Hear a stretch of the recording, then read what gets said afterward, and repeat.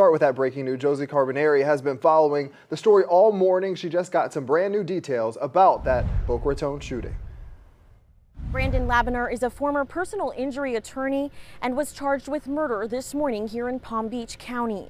Investigators with Boca Raton police say Brandon Labiner was initially arrested on a warrant out of Broward. Today, during his first appearance in front of a Palm Beach County judge, his charges were read out loud, including premeditated murder charges. He was given no bond and told he should have no contact with the victim or victim's family. The charges come the morning after a man was found shot multiple times outside of the Monterey office complex around 4:30 Saturday afternoon in Boca. This was along North Federal Highway and Yamato Road. Details were just released by Boca Police saying a man barricaded himself inside the building yesterday and was arrested in connection to the crime. We learned the same office building has multiple businesses inside, including a law office run by Brandon Labiner's father, Paul Labiner. The Florida Bar website shows Brandon Labiner's license to practice law was suspended back in April by the Florida Supreme Court. According to court records, Labiner's father, Paul Labiner, sued his son for allegedly misappropriating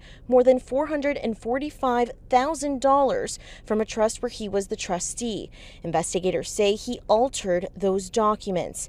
At this point, investigators with the Boca Raton Police Department have not confirmed the victim's identity. The cause of death is also under investigation.